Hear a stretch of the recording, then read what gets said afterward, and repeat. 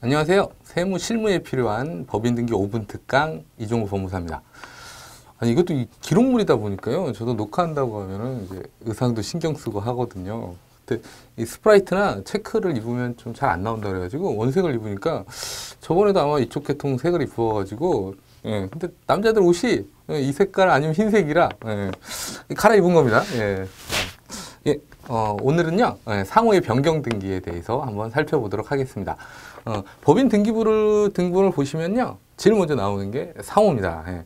저희도 뭐 등본이 됐든 아니면 뭐 인감이 됐든 제일 먼저 나오는 게 이제 성명이잖아요. 그래서 예, 법인도 상호가 제일 먼저 나옵니다. 음, 물론 절대적 기재 사항이라서요. 그걸 변경하게 되면 예, 공증 절차를 통해서 변경할 수 있고 그냥 뭐 마음대로 변경할 수는 없습니다. 그래서 공증 절차를 통해서 변경해야 되고요.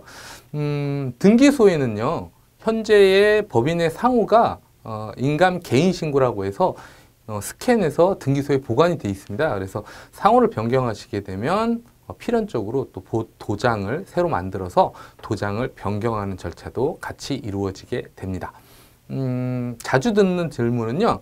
어, 가끔 영어로 이렇게 기재해서 오시는 분들이 계세요. 근데 어, 첫 번째 상호는 한글이 원칙입니다. 그래서 한글로 기재하셔야 되고, 어, 저 어디서 영어로 된 거 봤는데요? 왜 안 되죠? 이렇게 여쭤보시는 분 계신데, 뒤에 변기는 가능하세요. 그래서 뒤에 영문으로 변기는 가능하신데, 어, 원칙적으로 첫 번째, 에, 기재는 한글로 하셔야 됩니다. 영문 변기하실 때 또 하나 주의하실 점은요, 이 발음과 어, 영문이 같아야 됩니다. 어, 뭐 예를 들어서요, 뭐 한국 타이어다. 만약 이렇게 돼 있다면 글쎄 한국을 Korea라고 쓰니까 뭐 영문으로 Korea Tire 이렇게 병기하면 안 되냐 이렇게 생각하실 수도 있는데 어 그럴 수 없고요. 만약에 한국 타이어라고 한다면 영문도 한국인 H-A-N K-O-K Tire 이렇게 들어가서 읽히는 국어와 어, 뒤에 병기되는 영문이 동일해야 된다는 점 주의하시면 됩니다. 음, 물론 예외는 있으세요. 어, 뭐 책, 우리가 이제 북이라고 표현하고요. 뭐 파이낸셜이라든가 이제 그런 것들은 어, 통상적으로 이제 많이 상용되기 때문에 그런 건 뭐 금융을 뜻하는 언어로서 그냥 쓰셔도 괜찮은데 그 외에 어, 고유 명사 같은 경우에는 발음 기호와 예, 음, 병기되는 영문이 동일해야 된다는 거 주의하시면 되고요.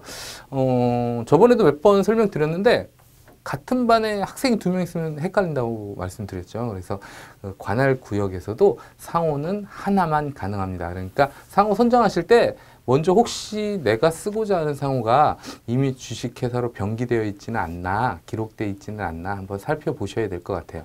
사실은요, 좀 더 깊이 들어가면 동일 상호도 쓸 수 있는 경우가 있다던데요 하고 이제 조금 이제 알아보시고 오신 분들이 계세요. 예, 맞습니다. 동일 상호라도 쓸 수 있는 경우가 있습니다. 어떤 경우냐면요. 사업 목적이 다른 경우에 쓸 수 있습니다. 그런데 어, 사업 목적이라는 게 하나만 기재되어 있지는 않으시잖아요. 그리고 이제 해석하는 등기관에 따라서 이게 같은 업종으로도 보는 경우가 있어서 되도록이시면 예, 같은 상호는 예, 피해서 예, 선정하시는 게 좋으실 것 같습니다. 왜냐하면 다 도장이랑 뭐, 뭐 개인 신고랑 이런 거 다 준비를 해놨는데 또 이게 만약에 동일상원에서 반려되면 다 처음부터 다시 도장이랑 준비하셔야 되는 번거로움이 있으시니까 진행하시기 전에 동일 상호가 있는지 먼저 검색해 보시는 게 바람직할 것 같습니다. 음. 그리고 이건 뭐 주의하실 사항인데요. 본점 이전하실 때 좀 주의하실 사항이 있으세요? 어, 우리 상호가 당연히 지금 쓰고 있다는 건 동일 상호가 없기 때문이겠죠. 그런데 지역을 옮기게 되면 옮기는 지역에는 있을 수 있겠죠. 예, 제가 현재 사용하는 관할에는 없지만 그래서 새로 이전하시는 경우에는 내가 이전하고자 하는 곳에 혹시 동일 상호가 있는지 그 점만 잘 체크하시면 될 것 같습니다. 네, 지금까지 5분 특강 이종우 법무사였습니다.